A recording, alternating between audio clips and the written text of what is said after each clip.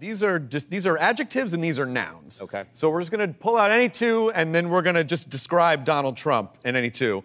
So this is my this is my random uh, the douchebag infested human air horn, Donald Trump.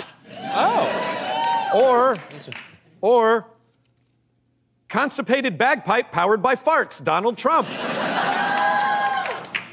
or this one's fun. These half of these are actual fortune cookies I've had. America's number one jack o' lantern in a suit, Donald Trump. Very it's nice. fun. Here, you try one. All right, I'll try one. Yeah, you read the yellow one I don't first. want- you read the yellow one first. Yeah. Okay.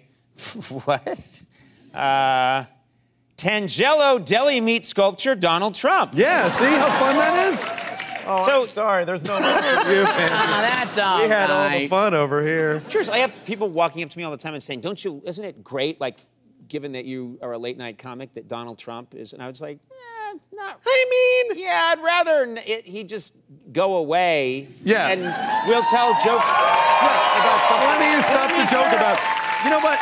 It's You know, I don't, like- I don't crave the jokes that we'll make jokes about something else. I, I will take that. I'll take that. hit Can't wait to see this country swallowed up in its own asshole with Donald Trump in the White House. Like it's not an Right. exciting. Right. It, we No, could, that could be fun. that could be funny.